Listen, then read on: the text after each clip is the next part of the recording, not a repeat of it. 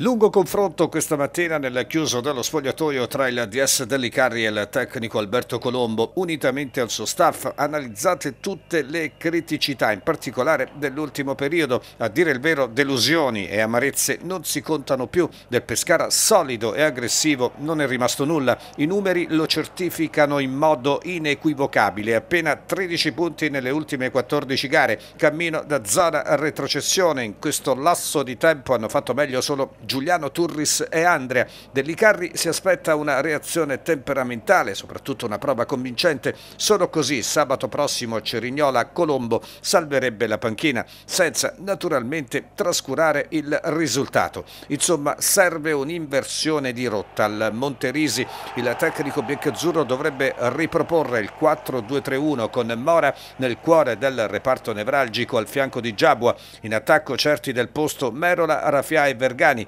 Per l'ultima maglia al momento Cuppone sembra in netto vantaggio su Delle Monache e Colai.